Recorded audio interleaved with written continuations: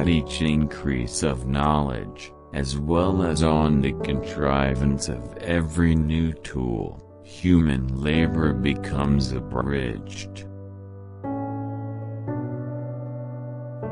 Errors using inadequate data are much less than those using no data at all.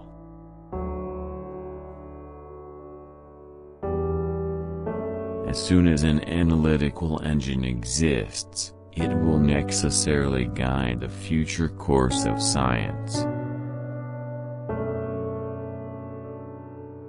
What is there in the name? It is merely an empty basket, until you put something into it.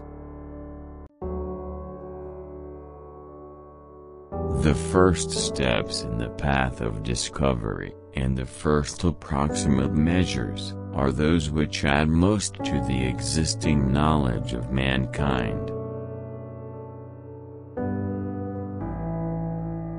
I have no desire to write my own biography as long as I have strength and means to do better work.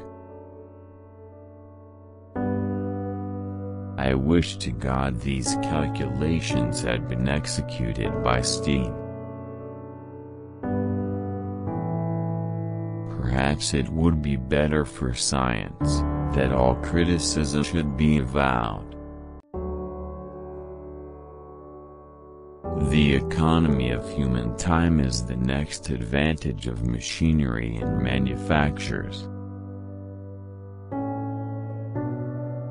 If we look at the fact, we shall find that the great inventions of the age are not, with us at least, always produced in universities. Telegraphs are machines for conveying information over extensive lines with great rapidity.